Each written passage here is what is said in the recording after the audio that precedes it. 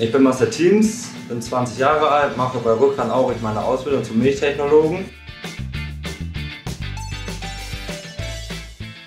Mein Name ist Frau Uhlmann. Ich habe vor kurzem die dreijährige Berufsausbildung zur milchwirtschaftlichen Laborantin bei der Molkerei Rücker abgeschlossen.